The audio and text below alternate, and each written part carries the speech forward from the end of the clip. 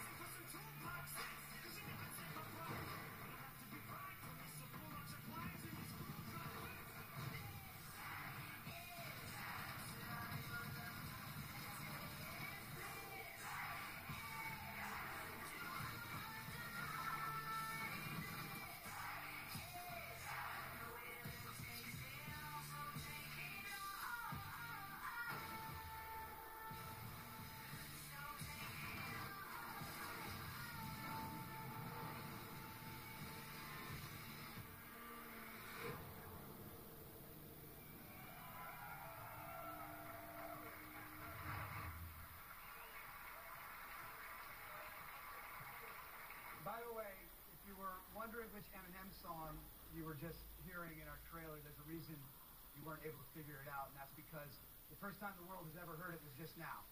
The song's called the song's called Survival, and it's the first song the world has heard from Eminem's upcoming album, which drops this fall. He's been a great collaborator with this franchise over the years. His, his music's been in our games, his music's been in multiple trailers, and uh, it's pretty cool that he chose our stage to share the first song uh, with the world from his upcoming album. And in fact, he wanted to say a few words uh, to our fans himself. Let's listen.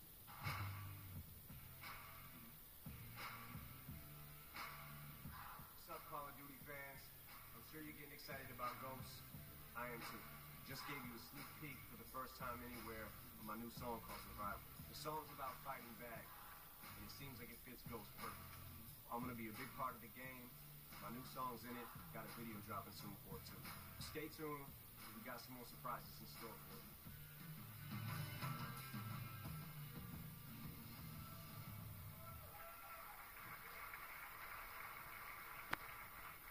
That's how I'm to walk off later, if that's okay with you. Um, okay, so let's dig a little deeper into Call of Duty Ghosts multiplayer. This MP game is built on three main pillars. Number one, your soldier.